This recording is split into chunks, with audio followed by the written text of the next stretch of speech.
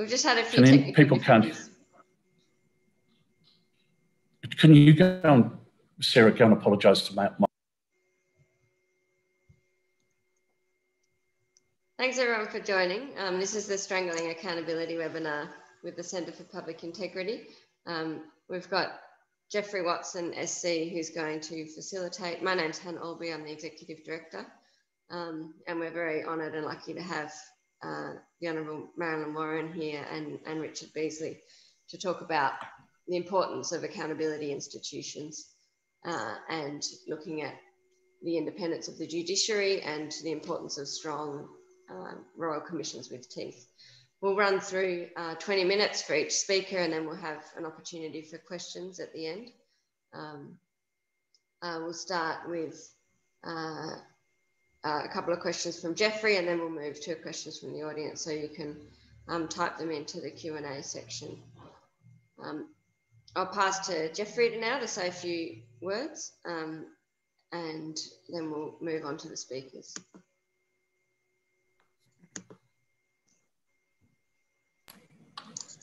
Hello, everybody. Welcome to the first lectures which are going to be presented as part of a series by the Centre for Public Integrity. The series is titled Strangling Accountability. Before I start, I want to acknowledge two things. Where I am today, I'm on land within the Eora Nation, and I'm in a part of it which was the traditional home for the Gadigal people. The people involved in this webinar are spread all around Australia, so the traditional owners of where you are will be different to those where I am. What we all have in common is that we're on lands which for thousands of years were the home to different groups amongst the First Peoples. We can best respect those people by acknowledging that many wrong and bad things have been inflicted upon them. None of us, I'm afraid, will be able to fix that, but each of us should dedicate part of our lives to try to make it better. The second group I want to acknowledge are the Victorians amongst us. We know how awful things have been of late down there for you during your lockdown. The rest of the country is grateful. By your sacrifice, we've made things better and many lives have been saved. Thank you, Victoria. Now, returning to the concept which underpins the lecture series, the idea behind it is to, to do the following to identify those independent institutions and agencies upon whom all Australians depend so much, and those agencies which hold other branches of government and the bureaucracy to account. We want to identify how those agencies have come under threat and what we might be able to do to protect them. When I speak of agencies, I'll just mention a couple the various auditors general, the various electoral commissions, the various public broadcasters, including the ABC, and here, it makes me sad to do this, but the CSIRO itself. These agencies are under threat. I offer as one recent example the very fine work undertaken by the Federal National Audit Office. You'll be familiar with Leppington Triangle by now. The government's response has been to cut that office's budget. Things are complicated. Today, We've got the benefit of two highly qualified speakers who are going to address specific attacks upon two of our most important institutions, the judiciary and royal commissions. I should tell you before they speak, the purpose of this is not just to inform, it's to encourage those who are listening to push the boundary, to do what, or to assist in doing that which needs to be done to make sure there's a better future. Our first speaker is Marilyn Warren, a woman with many firsts. She was at an early part of her career a senior policy advisor to the Victorian Attorney General's Department, first woman to hold that role. Marilyn was a barrister, elevated as Queen's Counsel, where she practiced in commercial and public law, and from 1988, a Supreme Court judge. In 2003, Marilyn Warren became the first woman to become Chief Justice of Victoria, and I add, the first woman to become a Chief Justice in any superior jurisdiction in this country. Marilyn Warren blazed a trail for many other women. Chief Justice Warren will speak on the subject of maintaining the independence of the judiciary. Thank you, Marilyn. Well, thank you very much, Geoffrey, for that warm welcome and also for your kind wishes about Victoria, which, on behalf of all my fellow uh, Victorians, I embrace wholeheartedly. Um, and I thank the Centre for inviting me to speak today on this very uh, important and timely uh, topic. Part of the topic is uh, qualified or based with the expression uh, turbulent times. Uh, how could things be perhaps any more turbulent than what we have experienced in the last 24 hours with the US election? And what is going on in the United States bring brings home to we Australians the fundamental importance of judicial independence. Uh, I understand that our group uh, today is a mix of lawyers and non lawyers. So I'm going to start with a very quick tour through what some might regard as constitutional theory 101 but uh, I, would say to the lawyers present, day in, day out, in our work in the law, we probably take judicial independence for granted because we are such bounteous beneficiaries of that in Australia.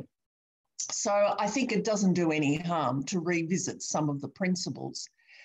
If I can assume that there's a general understanding that we have a three arms of government, starting with the Montesquieu principles, if we go on to the Hamilton Federalist Papers, where he acknowledged and emphasised the three arms of government and the fact that the judiciary was the weakest, and if we acknowledge too that the US Constitution was very influential with the founding fathers in drawing up the Australian Constitution, very much enshrined in Chapter 3 of the Australian Constitution. Well, that's the theory. How does it work in practice? What is the legislative framework? Well, federally, uh, there is the Administrative Decisions and Judicial Review Act, and in the states, there are various judici judicial review provisions in the Supreme Court rules and other statutory power. And it tends to be the federal court and the Supreme Courts that deal with matters that do arise that impact on government. There are, of course, the various tribunals across the country the Administrative Appeals Tribunal, VCAT, QCAT, NCAT, and WACAT, and so on. And we should bear in mind that there is a difference in Victoria, Queensland, and the ACT with the existence of human rights charters. When the courts look at government matters and the exercise of government power, the courts are exercising a supervisory jurisdiction and they will usually exercise a power in the nature of a declaratory or injunctive power. The courts do not engage directly in the oversight of illegal conduct and corruption. That is a matter for investigative authorities, police, and uh, directors of public prosecutions, and that only ends up in the courts eventually where there are criminal charges. It is important to acknowledge that our, in our system, our courts are adversarial and the courts themselves do not exercise a power of initiation or investigation. And importantly, and sometimes this is forgotten, particularly when there is criticism about court decisions, courts are bound and constrained by the evidence that is led in the cases before them, and importantly, the way the matters are presented. I want to touch upon something I mentioned uh, back at the beginning the three arms of government. That leads me to highlight the separation of powers. It is very fundamental to appreciate that there are differences between the judiciary and the other two arms of government. A few salient features. One, the judiciary is not elected compared with the judiciary in the US states. By contrast, the legislature is elected, it acts politically, and is subject to public opinion and popularity. Secondly, the judiciary focuses on the facts and decides cases by applying the law. The legislature makes that law and the policies. Thirdly, the judiciary provides reasons for its decisions Those decisions up to the High Court are subject to review through the appeals process. And perhaps I can put it this way judges do not spin, they deliver judgments, nor do judges politically explain the reasons for their decision, compared, for example, with a second reading speech by a minister when introducing legislation. And separation of powers has in our constitutional history on occasions been very topical and controversial. So if we reflect back to 1975 and the involvement of some High Court judges in the giving of advice to the Governor General. Now, I want to postulate the question why does judicial independence matter? Well, as Sir Ninian Stevens said, it lies as the bulwark of our democracy. Our democracy is founded on the rule of law. Let us make some comparisons where a democracy does not exist as we know it. And these are events that have occurred in our lifetime relatively, relatively recently. In Pakistan, the Chief Justice was placed under house arrest. In Fiji, the Chief Justice was sacked. On another occasion, a judge arrived to go into court and her way was barred by soldiers with guns. In Papua New Guinea, I have first-hand knowledge of this from the Chief Justice himself. He was sitting in court one day. The Prime Minister sent the police to arrest the Chief Justice whilst he was sitting in court. In Nauru, the Chief Justice, uh, who was an Australian citizen, was refused a visa to return to that country to exercise his jurisdiction. In Venezuela, the Chief Justice was sacked. These are all examples of how governments who have been concerned or dissatisfied or fear constitutional rulings by judges have intervened and controlled the judiciary and not respected the independence of those courts. Let's bear in mind that here in Australia, there are never guns or soldiers outside the High Court of Australia the Supreme Courts of each state, and the Federal Court of Australia. Why is that? Why is that? It's because there is a peaceful acceptance of judicial decisions by governments and the community. Now, that's not to say that there are not occasions where there is criticism of the court's decisions, where the decisions have been politically unfavourable. So we had Prime Minister Menzies in the Communist Party case criticising the High Court. We had Deputy Prime Minister Fischer criticising the High Court after Mabo and Wik.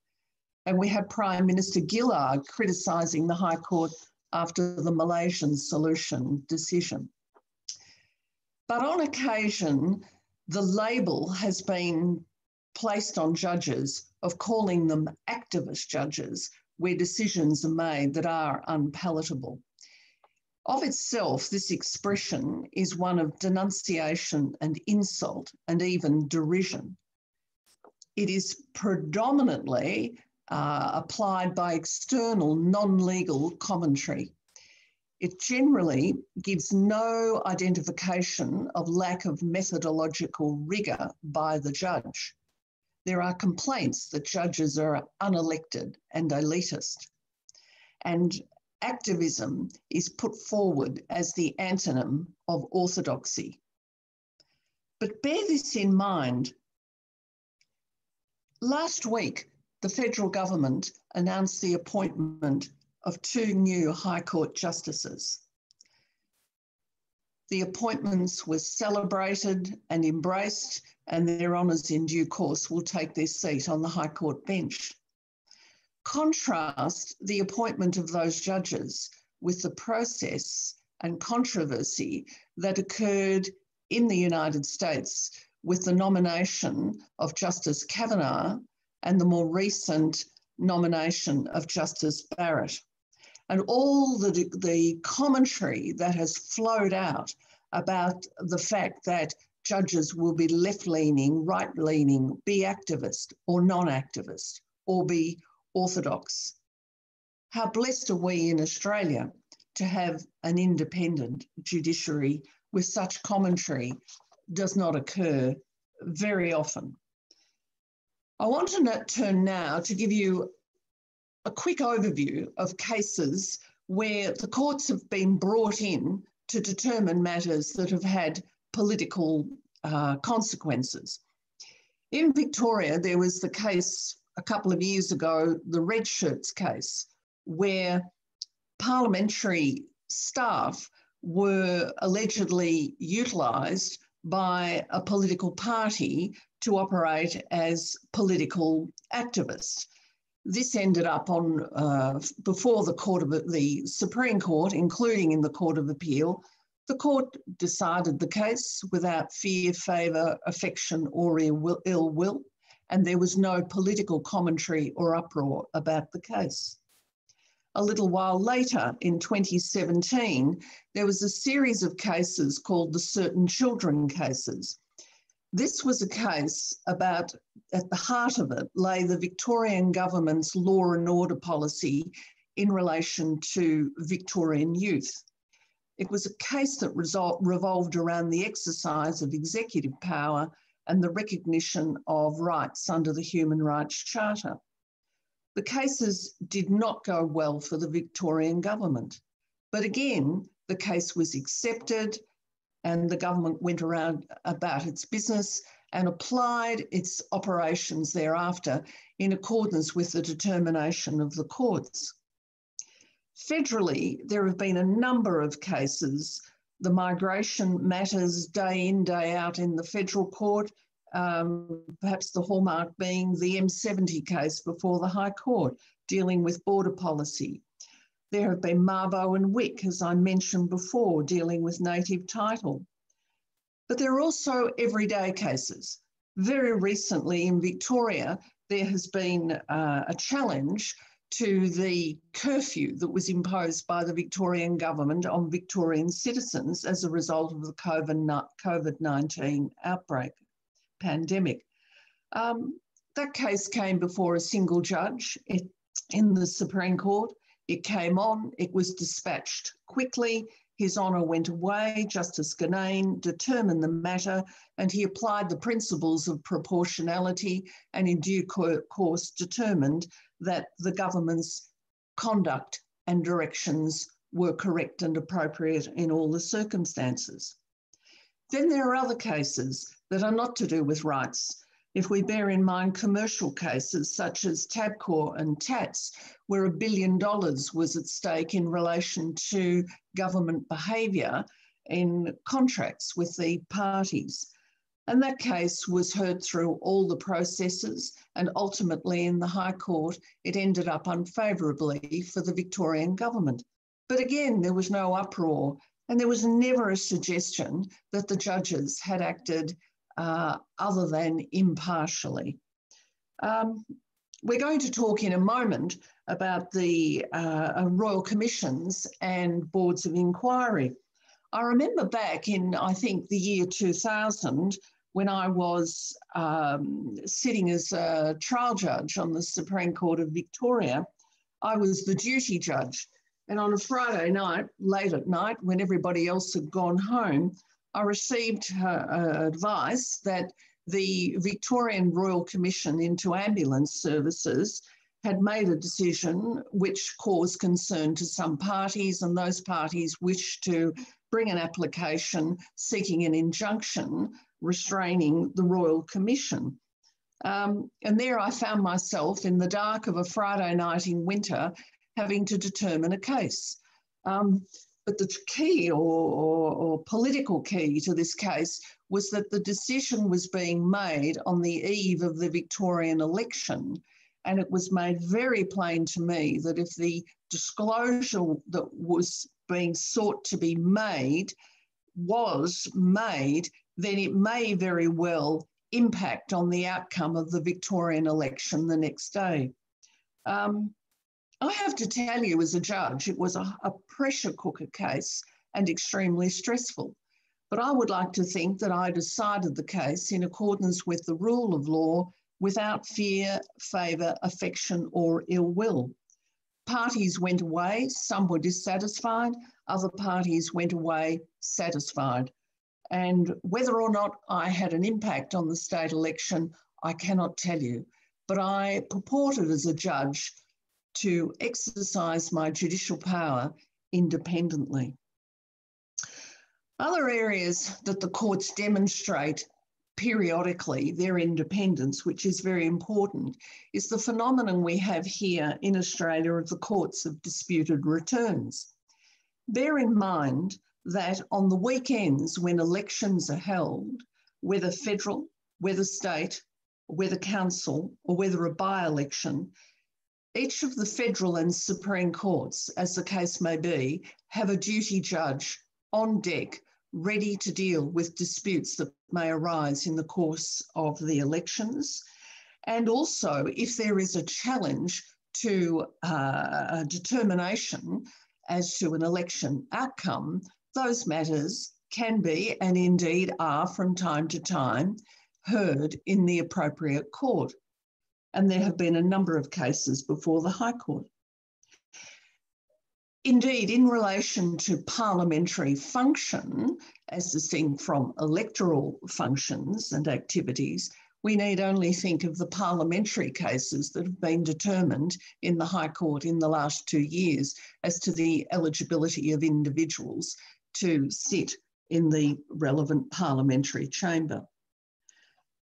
One last area that I would mention, of which judges are acutely aware, and if they are not aware, counsel will remind them. And that is the principle of actual and perceived bias. If there is a question of a judge being at risk of being biased, actually, or on a perceived basis, I have never known in my almost 20 years as a judge and decades before that as a practicing lawyer and barrister to know the parties to be inhibited or hesitant about making that point before a judge and calling upon a judge to disqualify her or himself or stand aside as the case may be. It is a very important phenomenon and practice in our Australian courts. So there are some observations I make about judicial independence, and I will now hand over to uh, Richard Beasley in due course. Thank you. I'll introduce Richard, but before I do, I just want to say thank you very much for that, Marilyn. And some of the insights actually were uh, new and refreshing to me. I, I, felt a chill down my spine about the awesome responsibility which you had to assume on a cold Friday in Melbourne on a at night time with political pressures placed upon you. I, I think everyone would say, thank God the matter was in safe hands. Anyway, thank you very much for your talk. Richard Beasley uh, will speak on Royal Commissions. What would he know about that? He's been counsel assisting in several, most recently in New South Wales in Ruby Princess, but more importantly, I think, was his role in the Murray Darling Basin Royal Commission held down in South Australia. Not only that, Richard himself has been appointed by the New South Wales government from time to time and uh, to sit as a commissioner, especially inquiring into areas of suspect conduct in local government authorities. Richard also knows a bit about corruption, I believe, because he's also a member of the appeal panel of the Racing Authority in New South Wales. Now, this is a man with wider interests and wider skills. I'll just mention this, and I want to point out I'm not being paid to do so. Richard Beasley is also a successful novelist. To my knowledge, he's written five books. I've read each of them. The first two are on the lighter side. The third, Me and Rory Macbeath, is heart wrenching. It's a very fine novel. His two most recent books are cracking thrillers, which would be good for any lawyer in the room. They have introduced a character, a barrister, Peter Tanner. They're very enjoyable. And I might say, uh, uh, I'm looking forward to the next one, Richard. Richard Beasley will speak to us about Royal Commissions. Uh, thank you very much, Geoffrey, for that very generous introduction. Um, I'm going to talk uh, mainly about and address my remarks mainly about two of the commissions I've been involved in that were mentioned by Jeff, um, and in particular to the Commonwealth Government's actions and responses in relation to those uh, commissions. Uh, those commissions were the Royal Commission into the Murray-Darling Basin, uh, Basin Plan, and the Special Commission of Inquiry into the Ruby Princess. This is important. These were both state established commissions. Murray-Darling Basin Royal Commission by the government or governor of South Australia, Ruby Princess by the New South Wales state government. Um, I think people, some people might have a slight misconception about uh, royal commissions or commissions of inquiry and, and what they can achieve. They don't, as we know, resolve in any final way legal rights. What they are, though, in their essence, and this is very important, they are inquiries into the truth of a matter, to find the facts and the ultimate truths. For the Murray Darling Basin Royal Commission, the inquiry was into the truths of the Basin Plan, a plan that is our most important environmental law and involves the expenditure of about $13 billion. At the heart of that was whether the plan is lawful or not. For the Ruby Princess inquiry, it was an inquiry into the truth of why 2,700 people were allowed to disembark unimpeded um, from that ship travel around Australia, travel overseas when 900 of them or thereabouts were infected with COVID. As for the Basin Royal Commission, the Commonwealth Government and its various the various Commonwealth Government departments showed not only a lack of interest in the truth, but did all they could to suppress it. With the Ruby Princess inquiry, the Commonwealth was more selective about the truth that it would allow to be publicly examined. But when it involved a Commonwealth employee, it was totally against that. In respect to both of these inquiries, the commissioners, and it was Bret Walker was the commissioner for both inquiries, his powers to summons Commonwealth witnesses to give evidence and for Commonwealth documents to be provided were either threatened with challenge in the High Court or which was in the relation to the Ruby Princess or in relation to the Basin Plan Royal Commission, were challenged in the High Court and regrettably had to be discontinued because of a lack of time, but I'll come to that. Can I start with the Murray-Darling Basin Royal Commission? And, and before I describe the Commonwealth's total lack of cooperation with that, when I say the Commonwealth, I mean the Commonwealth and various government departments, which include the Murray-Darling Basin Authority itself, the CSIRO, the Department of Agriculture, the Department of Environment and Water, I need to very briefly discuss what this Royal Commission was about, which involves me very briefly describing what the Basin Plan involves. In 2007, the Commonwealth Government, in the dying days of the Howard Government, passed the Water Act, which is a magnificent piece of legislation and amongst our most important environmental laws the Water Act required the Basin Plan to be prepared. Federal Parliament passed the Water Act in 07. The Basin Plan was passed by Commonwealth Parliament in 2012. Um, at its most simple, the Basin Plan involves how much water has to go out of consumptive uses like irrigated agriculture and mining and be returned to our environment, the environment of the basin, which is about an area of land about twice the size of France, in order for us as Australians to stop killing the wetlands and ecosystems of the basin. Um, I'm not going to give an environmental talk, but to put it simply, it is no exaggeration that white people in this country have brought what could be described as an apocalypse on our environment and particularly the environment of the basin. It, it's nobody's fault that it doesn't rain enough in Australia. Um, you could blame the National Party for asserting that if they build dams, it'll rain more. But other than that, it's not no one's fault that it doesn't rain enough, and it's no one's fault um, that um, climate change is impacting the basin. It's how we respond to that. Um, there has been, though, a ceaseless expansion on how much food and fibre is grown in Australia, and that has uh, done untold damage to the environment of parts of Queensland, New South Wales, Victoria, South Australia, and the ACT. And there's not a lot of water to begin with. Our rivers are very long, but they are hydrologically feeble. More we treat our Murray River as though it's the Amazon. More water runs out of the mouth of the Amazon in 24 hours than runs out of the mouth of the Murray in a year. We don't have much water. It's a very precious resource. The Blake Water Act and Basin Plan were designed to redress this.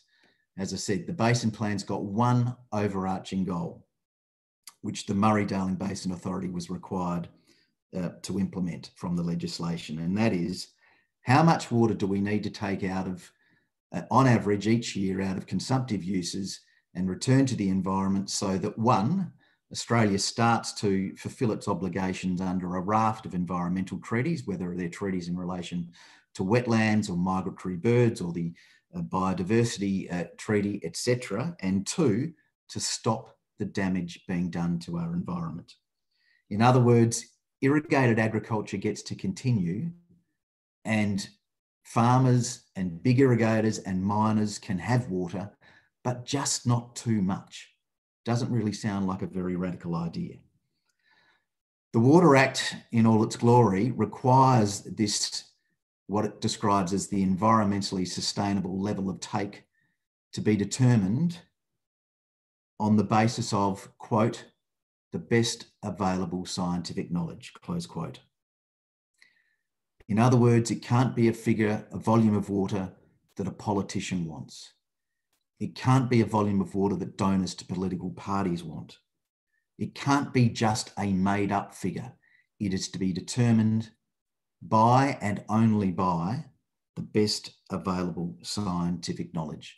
That was not done it's a really difficult job to determine how much water the environment needs. You need hundreds of scientists, ecologists, hydrologists, other experts to provide information to ultimately computer modelers.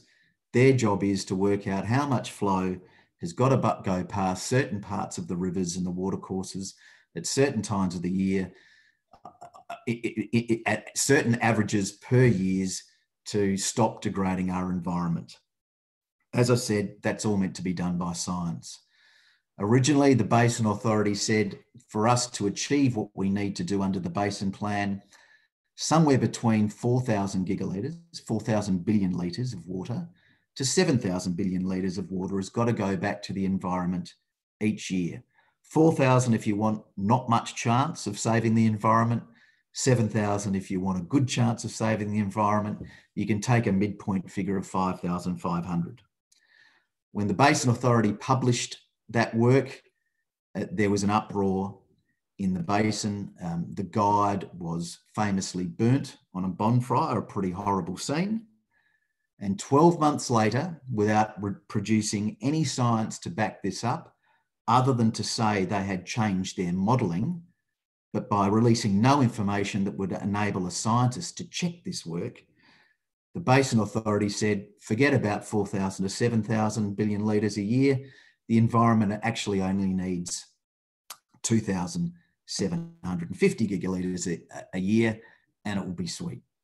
In other words, without an explanation other than we've changed our modelling, the Basin Authority in the space of 11 months said the environment to survive and for Australia to fulfil its international obligations needs um, less than six Sydney harbours full of water than we previously said. South Australia was never happy with that, and that was one of the reasons they established the Royal Commission that Commissioner Walker uh, was the commissioner of, uh, and that ran uh, for 12 months from January 2018. The evidence before that commission was that 2,750 is an unlawful figure.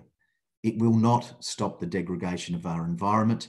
It is not an environmentally sustainable level of take. But worse than that, it was not set according to the best available scientific knowledge. And that was a deliberate, unlawful act. Walker called it maladministration you could probably use a stronger term. I won't, I'll stick with him. Maladministration, gross negligence. What was done was this and first of all, I point out that there's a CSIRO report that, that says, as a matter of fact, 2750 is not going to cut it. It won't save large parts of the environment.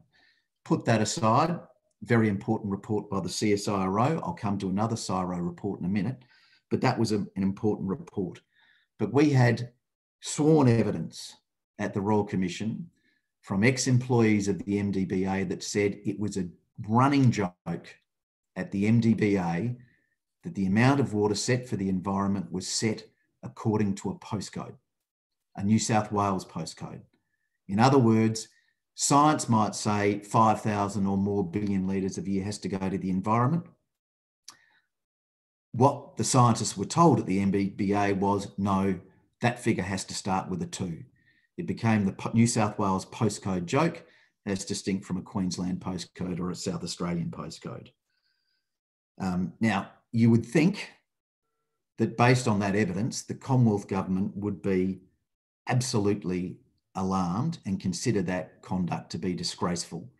That a Water Act says you have to base your, your determination of water to the environment on science, and it becomes a political fix. It becomes, frankly, what big irrigators would wear.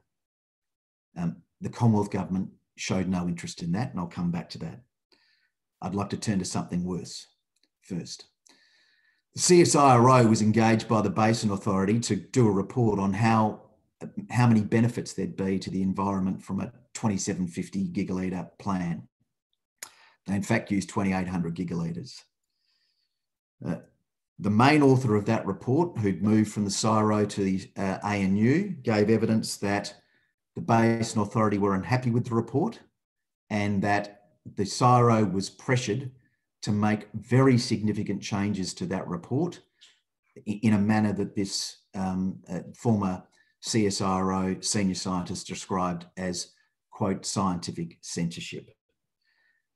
The, threat was even apparent that the MDBA might not pay the CSIRO if these changes to the report weren't made.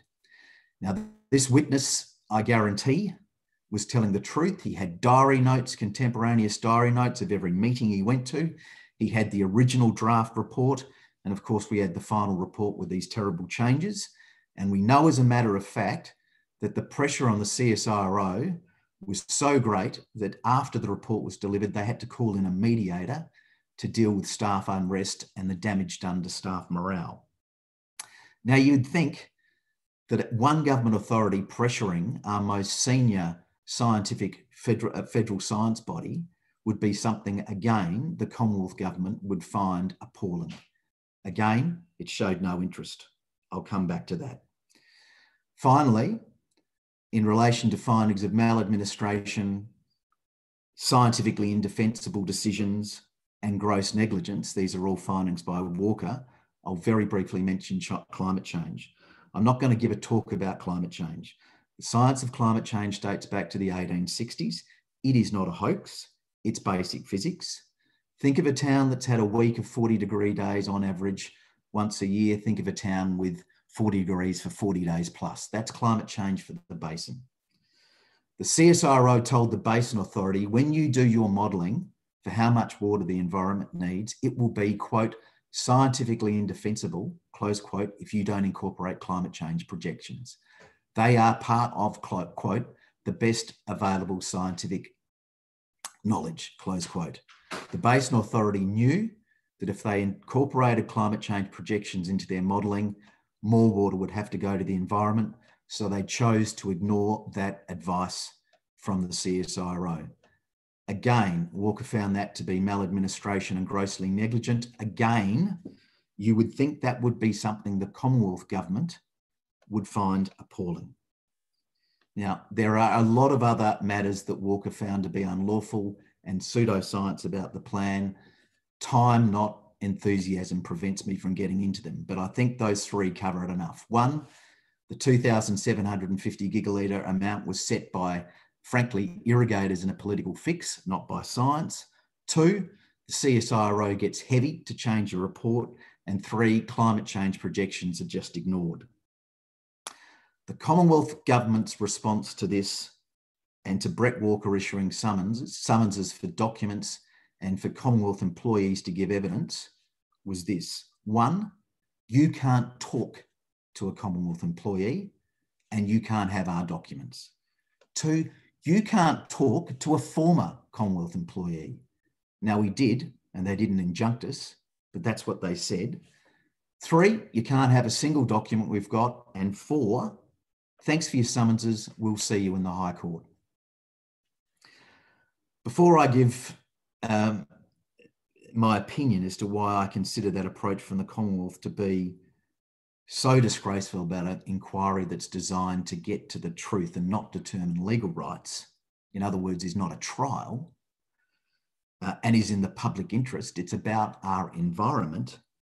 I better give brief reasons as to why the Commonwealth says they did this. First of all, they had a point about the uh, construction of the Royal Commissions Act of South Australia. I won't get into that because that could have been fixed by an amendment if it was correct. The main thing they said was this and this is from the written submissions that were lodged by the Commonwealth and the Basin Authority. Obviously, this is a summary, but what they said was you, Bret Walker, when you service with a, as a state-based Royal Commission commissioner, when you service with a summons for a witness that's an, a Commonwealth employee or for our documents, you are interfering with or restricting the Commonwealth's executive capacities. In other words, a Melbourne Corporation type point.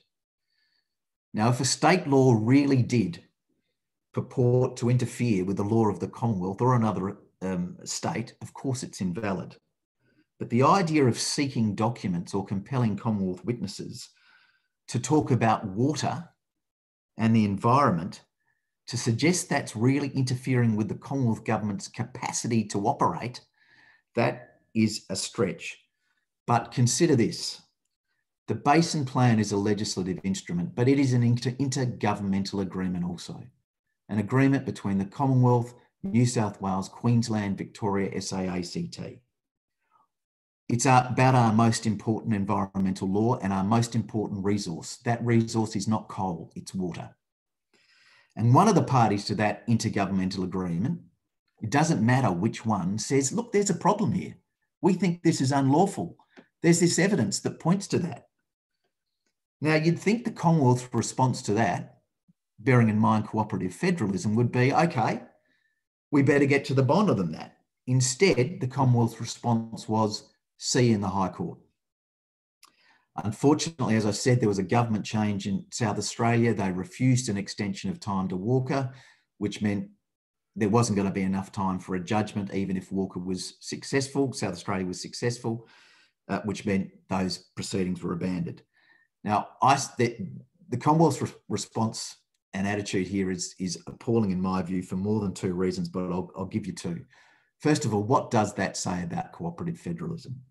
You've got this intergovernmental agreement, you've got one party to it raising proper evidence that something's gone wrong, that there's maladministration and illegality, and the Commonwealth reaction is bad luck.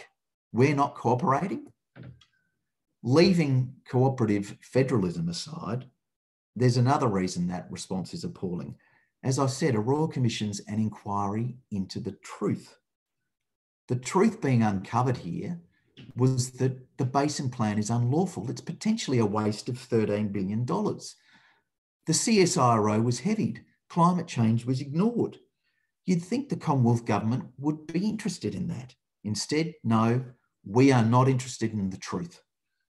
We will literally see you in court. In my view, that's inexcusable.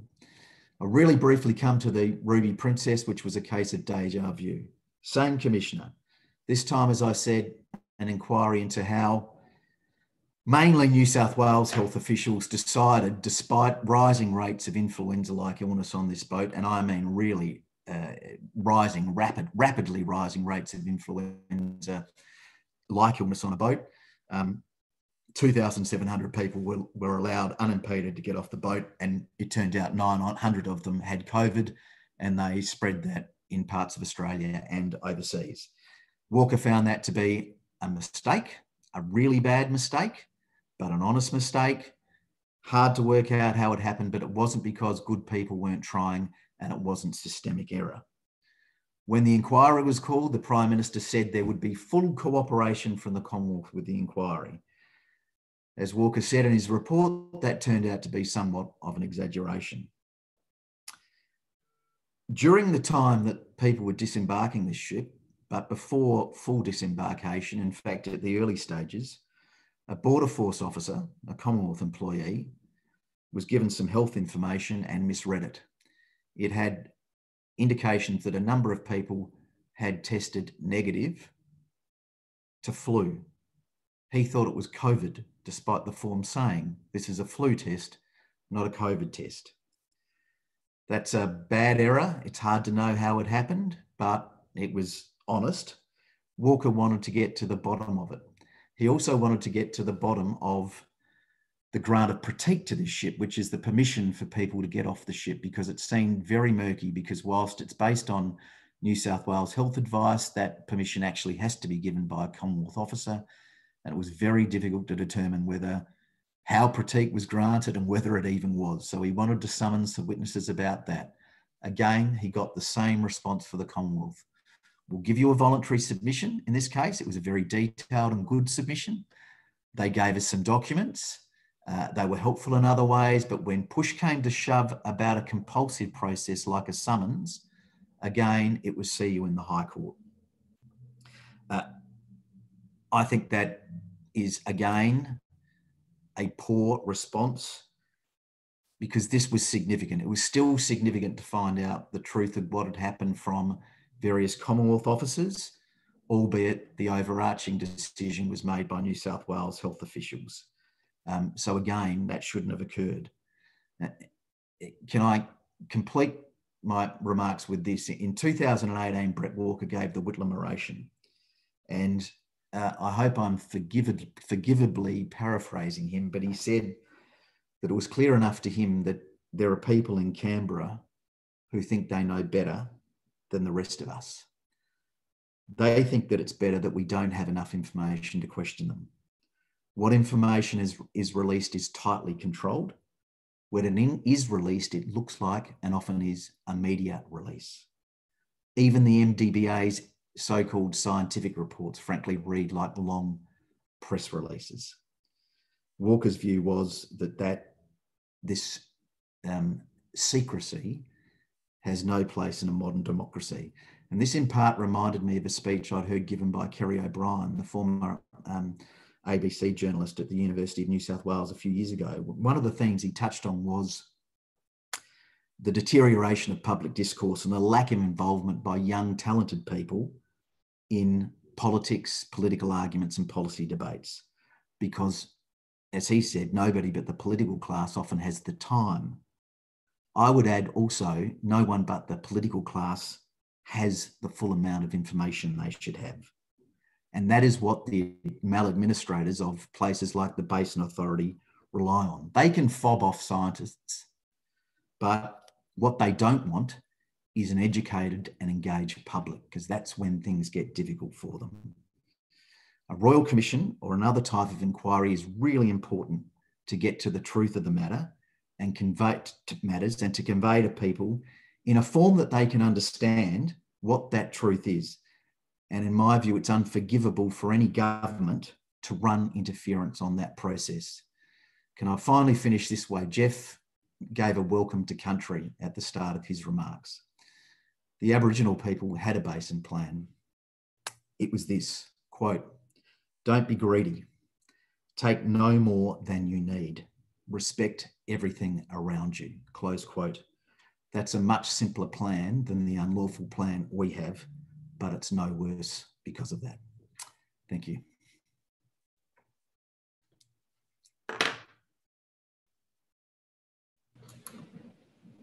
Well, it's a gut reaction when a speaker has finished to say thank you. I'm not sure whether that's the right thing to say there, Richard, because quite frankly, there was a lot of that which was truly disturbing. The observations about the treatment or maltreatment of the CSIRO are, are shattering. The idea that in a federation, and we've been struggling around long now for 120 years, that we can't come to grips with the federal government cooperating with the state government at such an important level frankly, is disturbing. I should say, but, Geoff, the CSIRO denies this. They weren't prepared to put a witness in the witness box to deny it. They lodged a five page submission saying it didn't happen. Well, what I'm going to do is throw this over to some questions. Now, what the audience won't know is that due to a lack of technological skills, Han Aulby was going to show me how to receive those questions so that I could relay them. I may need your assistance here, Han, because uh, if questions are coming through, I've got to find them. I think I've found one. We haven't received any questions in the chat or the there was a discussion yet from the audience, but if people have questions, um, they can put it either in the chat box well, well, or in the Q and A box, and um, either I or Geoffrey will find them. Um, I might I, maybe I just did suggest. Um, while we wait for some questions to come in, Marilyn had some interesting thoughts on royal commissions as well um, that we were discussing before um, the session started. So I might just ask her to um, relate some of those thoughts, if you don't mind, Marilyn. Yes, certainly. And, and thank you very much, Richard. I, I found that fascinating and um, concerning, as Geoffrey has said. Um, three aspects of royal commissions which strike me as critically important are the terms of reference as drafted for the Royal Commission. Politically, it is, uh, I'd imagine, not too challenging to be able to craft terms of reference that uh, will constrain a Royal Commission.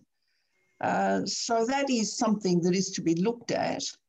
The second thing is, and sometimes this is not talked about, and perhaps you, you will be too humble not to, to not respond on this, Richard, but I regard the quality of counsel assisting a Royal Commission as critical. Uh, if we think of the role of Rowena Orr, uh, QC, in the Banking Royal Commission, and of course your role, Richard, in the uh, Commission and Inquiry you mentioned, it is so, so important because that person will take a very significant lead in as to the evidence and the presentation before the Royal Commissioner. Um, we might think of uh, Jack Rush QC, who led the Royal Commission into the Black Saturday bushfires in Victoria. Um, very, very important. Also, I think something that is sometimes not talked about enough is the selection of the actual Royal Commissioner or the panel, as the case may be, and to pay particular heed and attention to the experience of the commissioner or the inquirer if it's a judicial inquiry. Now, I don't mean to suggest by that that um, people are appointed who are not competent, but if you have a person who is a, a, very ex experienced judge, former judge, experienced senior counsel, they will bring the rigour and discipline of the courtroom to the fore in the Royal Commission. We saw this very much play out with Commissioner Hayne in the Banking Royal Commission. Um, there are some reflections I have. Richard, you might like to respond. Um, look, in relation to the Banking Royal Commission, what I found um, amazing to a degree was how little time all the council had in that to prepare to start hearings in relation to what is incredibly complex subject matter. Um, with the Royal Commission I did in um, the Murray-Darling Basin, we had a period where we travelled around Australia to do some community consultations, which did give me and all the lawyers involved some time to read into um, really important, really um, complex scientific subject matter. Uh, so we had slightly more time. But your point about um, two things you raised. One was the drafting of the terms of reference. I think in relation to the Basin Royal Commission, the South Australian government deliberately drafted very widely. One, one term of reference was simply, I'm shortening it, but is the Basin Plan lawful? That essentially allowed Walker to choose whatever he wanted to look at. Um, so that was drafted by a government that wanted a far-reaching inquiry. Um, of course, the opposite could occur, where you could have really narrow terms of reference that constrain uh, an inquiry from um, looking at um, matters more broadly. The other issue you raised, and this has been said to me a few times, I, I, I don't think I uh, want to express my own view because I'm not sure what it is at the moment, but other counsel who have been involved in many royal commissions or, or very long-standing royal commissions have often expressed the view to me that they think it's better that a, a judge or a retired judge sits as a royal commissioner. The reason they give is that if a barrister is chosen, they feel that the barrister might make the mistake of entering the fray too much, whereas an experienced judge has that training experience from being a judge of, of being slightly uh, less inclined, for example, to take over the examination of a witness, things like that. So that view certainly been expressed to me. Um, I'm, I'm, not sure I have my own view. Um, and I've got to be careful about it, given that I've I've also conducted, as a barrister, conducted inquiries, including one involving Mr. Watson.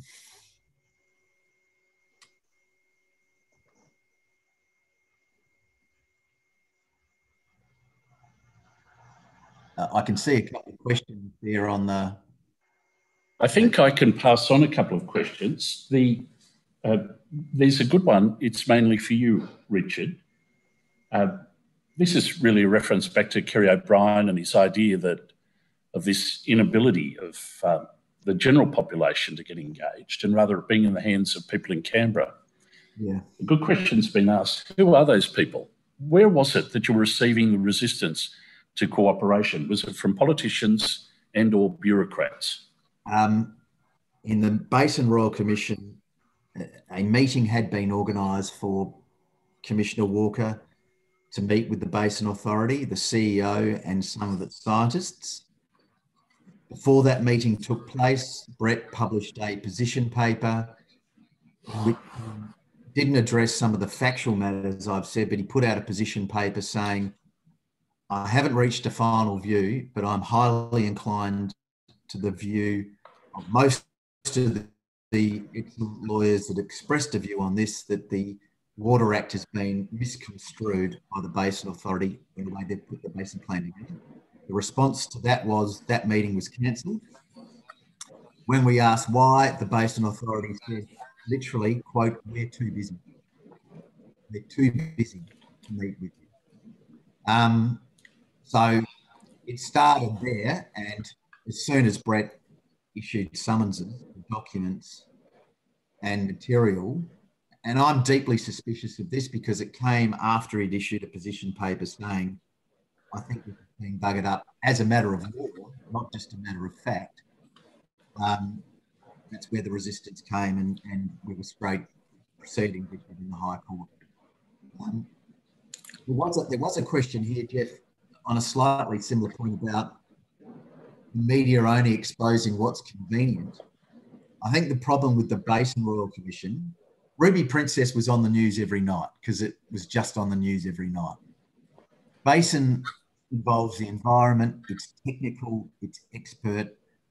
That's hard for newspapers, it's hard for radio. There, there's certainly people like Anne Davies in The Guardian um, and, and other journalists um, who have um, followed the Royal Commission, but it wasn't getting much exposure.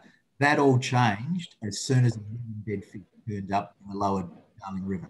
Because then you've got a photo, and then it became important.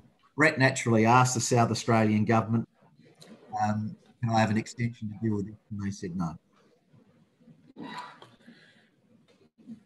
Could I could I raised a question which is mainly directed at Marilyn, but I think it's uh, also able to be thrown over to you, Richard, when it's ended. Another attendee has asked questions really about the criticism of the judiciary. Marilyn, I hope I don't get it wrong, but I understood what you had to say was that, of course, the judiciary is not above criticism. It's just that it should never descend into per, personal abuse, the activist judges line, or it shouldn't descend into, well, I'm going to call it ignorant abuse. And you mentioned three political instances of that over the years.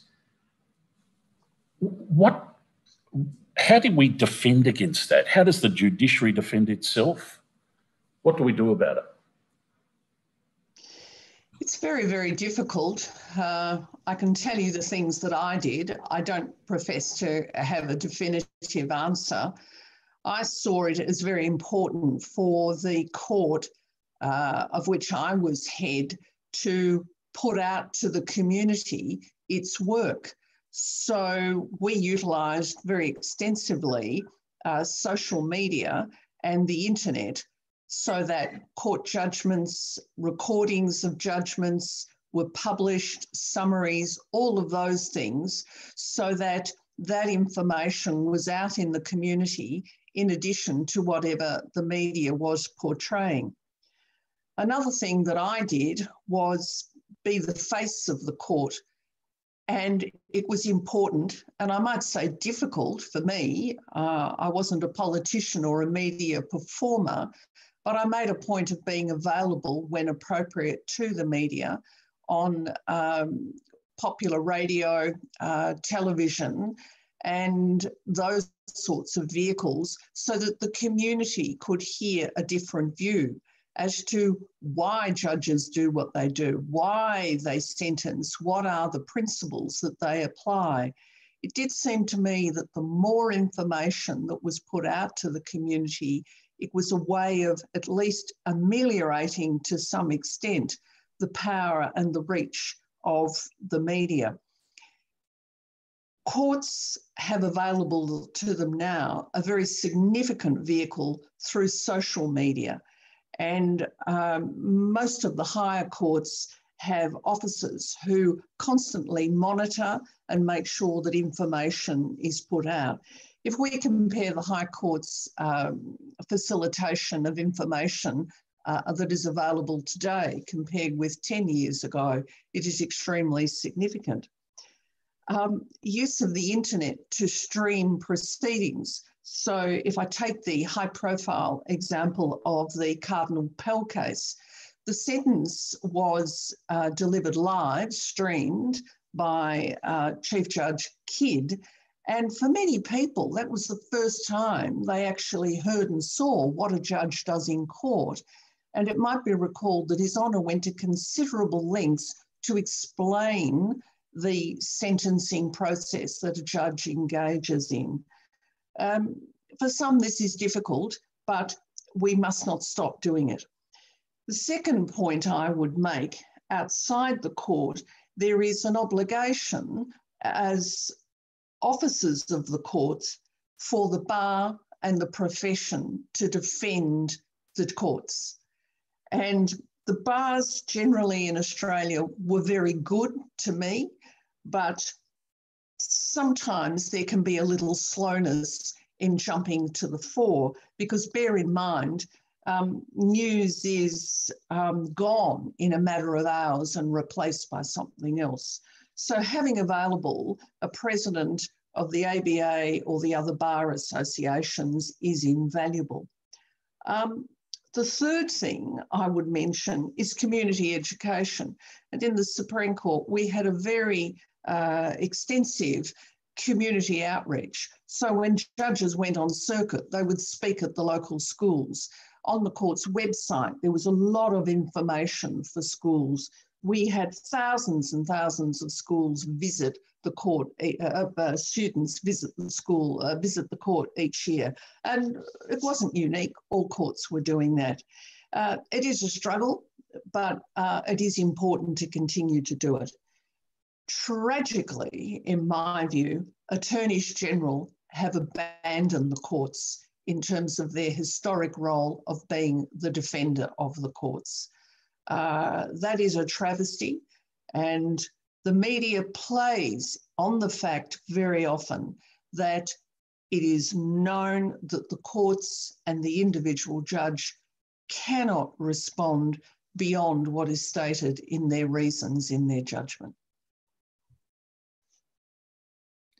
Probably running out of time, Geoffrey. So, uh, Hannah, I just wanted to get Richard to respond to that because I think sure. he did have something which he can add. And Richard, I'm going to get you to build it up a bit because let's be blunt about it. In New South Wales, once the Ruby Princess inquiry became politically hot, I saw instances of personal pressure placed upon, well, you and also Commissioner Walker. Could you just add to anything which you feel free to add to what was said by Chief Justice Warren?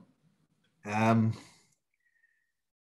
after the inquiry started, there was an article in the Australian that basically said it was a political, I'm paraphrasing, stitch up to protect the New South Wales government.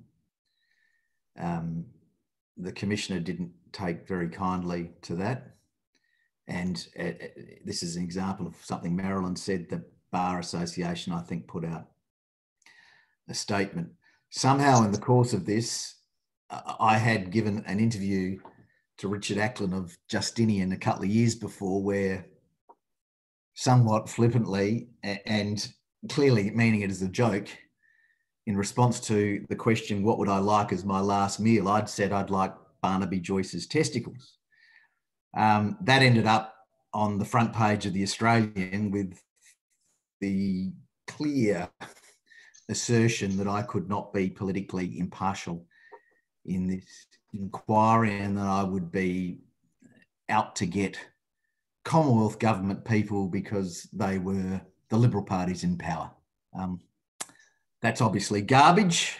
Um, there was a lot of other inquiries made to the commissioner by various people on what's called Sky After Dark about me, um, all of which he dealt with, but I think he probably considers that private, so I won't get into that. But uh, look, it was uh, it was interesting, but I'm I'm not overly scarred by it, but I frankly viewed it as fairly pathetic. Geoffrey, could I add to what Richard just said? From a judicial point of view, none of the uh, negative comment that is uh, put out at times uh, is at all pleasant. Uh, you don't become a judge unless you're pretty tough, in my view, and you you can't take on the role and be thin-skinned. Uh, and that's where the advocacy by others is very important.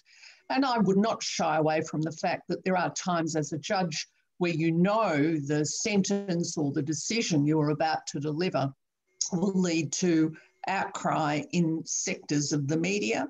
Well, it's part of your judicial function. You have to be courageous, take a deep breath, knock on the door, go into court and do your task, do your job. Thank you both for that. Um, we're running out of time, so I might need to wrap up. But uh, thanks everyone for coming. Um, and thank you again to our uh, panelists for an incredibly yeah. interesting discussion. Did you want to? Sorry, you can't possibly. We we can't possibly wrap up without this. Anybody who has got something out of this, anybody who has enjoyed it, anybody who thinks inspired, they're inspired by it, it's got to remember this would never have happened without Han Aulby. And I'm just going to say thank you, Han. It's just wonderful. Thank you, Richard. Thank you, Marilyn. There was a question asked, which we didn't get to, from Professor Colleen Lewis, one of the greatest experts in this corner of government administration and law in this country, who found what Richard had to say chilling, was her word.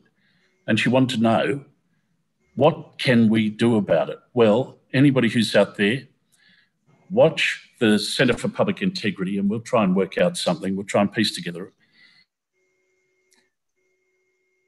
we'll try and work out a way. And we'll be calling upon the expertise of a number of you to do so. And you can wind it up, but thank you, Richard, and thank you, Marilyn. Can I just also say thank you to the Centre for inviting me, and I consider your work to be really important. Thanks, Richard, and thanks, Geoffrey, and thank you, Marilyn, for a great session. And um, stay tuned, everyone, for the next uh, session on strangling accountability. We'll be looking at integrity commissions, including Christian Porter's um, new bill, um, as well as a further look at Auditor Generals um, and their important role. So stay tuned for that. Thanks a lot. I'll end it here. Cheers. Thank you.